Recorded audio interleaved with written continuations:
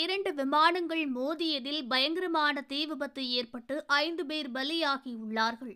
ஜப்பானின் தலைநகர் டோக்கியோவில் உள்ள ஹானிடே விமான நிலையத்தில் ஓடுபாதையில் நேற்று கடலோர காவல்படை விமானத்தின் மீது ஜப்பான் ஏர்லைன்ஸ் பயணிகள் விமானம் மோதியதில் பயங்கர தீ விபத்து ஏற்பட்டுள்ளது.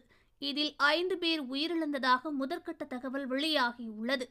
டோக்கியோ ஹனைடா விமான நிலையத்தின் ஓடுபாதையில் இந்த தீ விபத்து ஏற்பட்ட போது ஜப்பான் ஏர்லைன்ஸ் விமானத்தில் முன்னூற்றி எழுபத்தொன்பது பயணிகள் இருந்ததாகவும் விபத்து ஏற்பட்ட சமயத்திலே பயணிகள் மற்றும் பணியாளர்கள் என அனைவரும் பத்திரமாக மீட்கப்பட்டு விட்டார்கள்.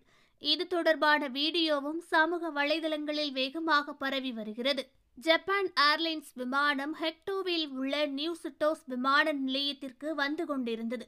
இதனையடுத்து அந்த விமானம் சி ஓடுபாதையில் தர இறங்கியது. அதே சமயத்தில் ஜப்பானில் நிலநடுக்கத்தால் பாதிக்கப்பட்ட மக்களுக்கு உதவி செய்ய சில பொருட்களோடு கடலோர காவல்படை விமானம் ஒன்று ஓடுபாதையில் சென்று கொண்டிருந்தது. அந்த விமானத்தின் மீது ஜப்பான் ஏர்லைன்ஸ் விமானம் மோதியதாக கூறப்படுகிறது.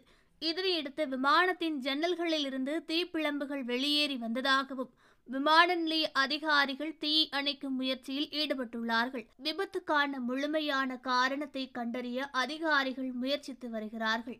உலகின் மிகவும் பரபரப்பான விமான நிலையங்களில் ஒன்றான ஹனேடா விமான நிலையத்தின் கடலோர காவல்படை அதிகாரி ஒருவர் கூறுகையில் விபத்து குறித்த விவரங்களை சரிபார்த்து வருவதாகவும் மேலும் ஜப்பானில் உள்ள விமான நிலையத்தில் இது மாதிரியான மோதல் சம்பவங்களை நாங்கள் எதிர்பார்க்கவில்லை என விமான நிலைய அதிகாரிகள் கூறியுள்ளார்கள்.